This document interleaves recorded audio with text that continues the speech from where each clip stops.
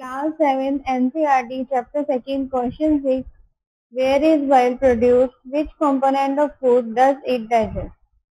Bile कहाँ produce होता है और एक कौन सा कंपोनेंट है फ़ूड का जो डाइजेस्ट करता है let's start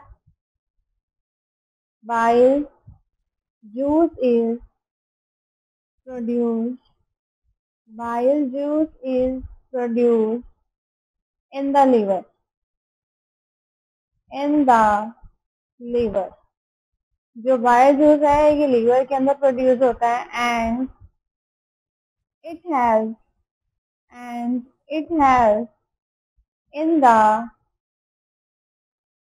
digestion it has in the digestion of fat fat की डाइजेशन के लिए यूज़ होता है by breaking by breaking large fat globule into smaller ones. जो लार्ज फैट होता है, उसको स्मॉल करके ये डाइजेस्ट करता है फ़ूड को।